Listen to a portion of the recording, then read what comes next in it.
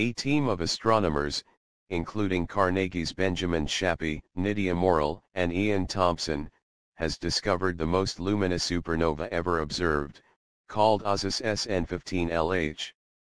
Their findings are published in Science. Supernovae are violent stellar explosions and some of the brightest objects in the universe. Human records noting their existence date back nearly 2,000 years. Within the past two decades a rare new category of superluminous supernovae have been discovered, which shine 100 to 1000 times brighter than the more common supernovae.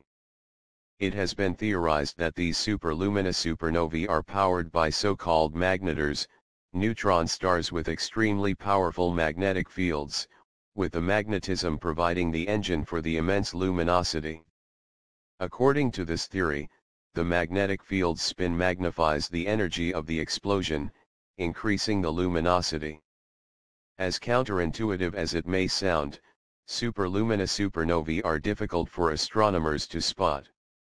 This is because they are rare and tend to form in low luminosity galaxies with vigorous star formation, whereas the sky surveys that have been traditionally used to locate supernovae target bright galaxies with low rates of star formation.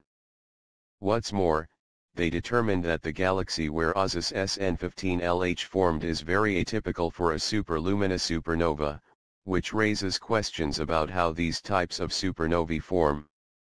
Its host galaxy isn't the typical low luminosity, star-forming galaxy where previous superluminous supernovae have been spotted.